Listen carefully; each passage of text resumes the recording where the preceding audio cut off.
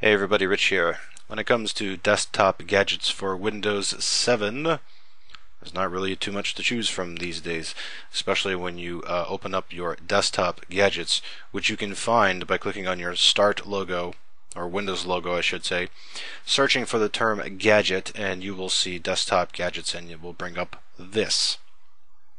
When we click Get More Gadgets Online, you're brought here.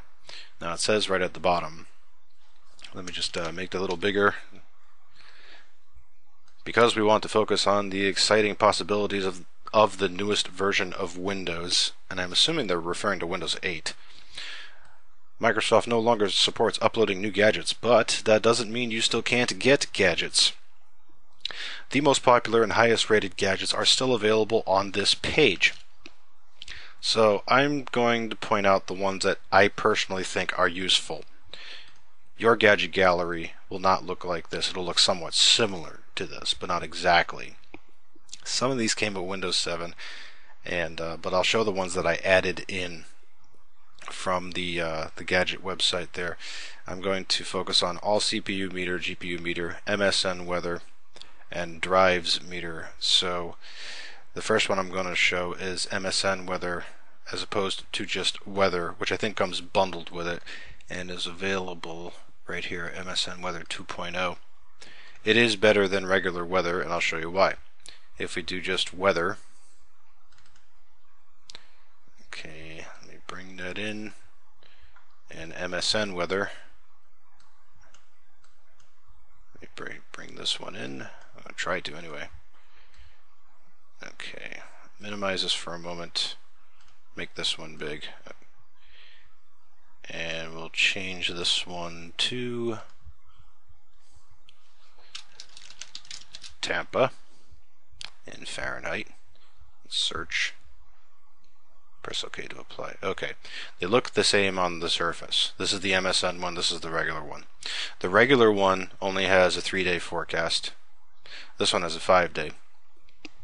And in addition, if I hover over this one, there's details. If I click, it actually gives some useful information. Feels like 68, humidity 35%, wind speed 10 miles per hour, westbound. Precipitation chance 0. Sunrise 656, noon 1327, uh, 1300 hours 27 minutes. Sunset 1900 hours 59 minutes. Observation time 424 2012, 1735 hours minus 4 hour GMT. Observation point, Peter O. Knight Airport. None of this is present in the other one.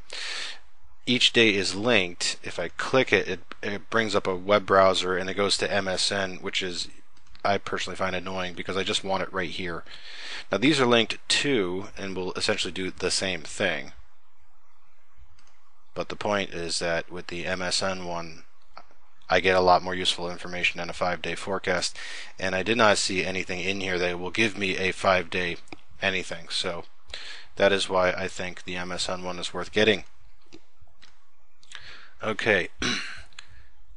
Actually, I'll show four of these. Uh, all CPU, GPU, network, and drives. So I'll launch this one. Put that in view. This one. Put that in view. Network meter. That one. And drives. Come on, drives, launch. Oh, there it goes. Oh, I launched it twice. Okay, close one, bring it in view. My first complaint about this is that the text is a bit on the tiny side, but it's more or less readable. Uh, now, the nice part of each. Actually, let me get rid of this. Cancel. We'll do it for this one. There we go. The nice part about each is that you can change all the colors if you want to, which I think is pretty cool and yeah, I really could not find any way to increase the text size, but if you can deal with that, these are all good utilities from the computer geek's point of view anyway. Now, the first thing to note up front, because I'm sure a bunch of you saw the ATI uh, logo there, is uh, yes, this will recognize the difference between uh, NVIDIA, ATI, or whatever it is you have to uh, you are using for a graphics card. Whatever you are using is the logo that should show up unless it's some seriously no name graphics card or something that's very obsolete or something like that. Anyway, so you've got your CPU usage here where I have a two core processor, shows my core 1 and core 2 and the uh, what's going on with the GPU meter. And I think it, yeah it will actually show the fan if the fan is running. Now it's either not running or it's just not recognized in this app. It's, I think it's just not recognized. It will either show up or it won't and then the network meter uh, this is for wired and not wireless and then the drives meter which will show you how much you have free and all that other happy good stuff.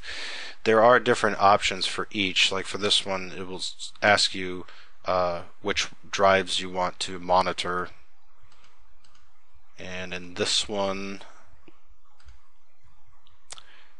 you can choose the. Uh, it is true you could do wireless network with this one, so I got to correct myself.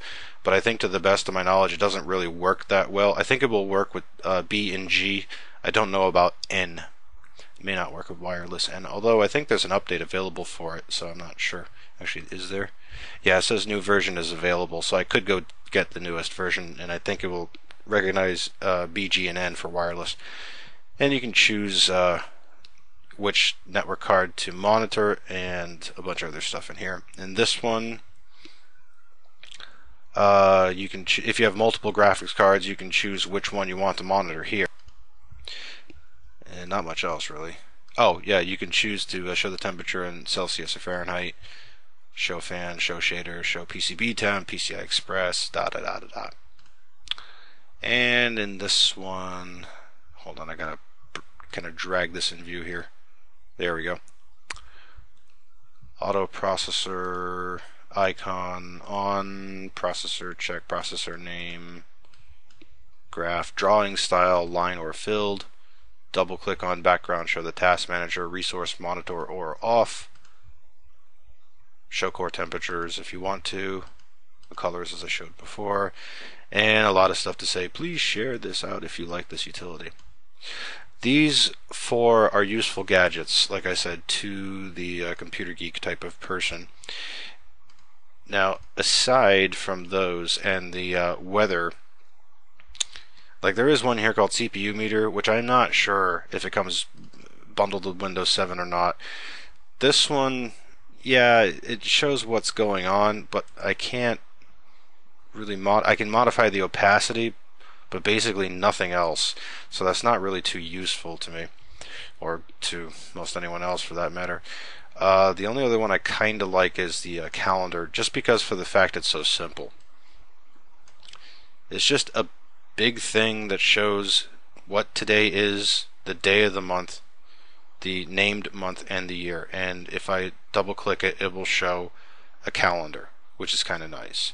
And if I fly it out like this, you can show both the uh, oops, both the calendar and the uh, the big one down here, and I can scroll month to month to month to month, and so on.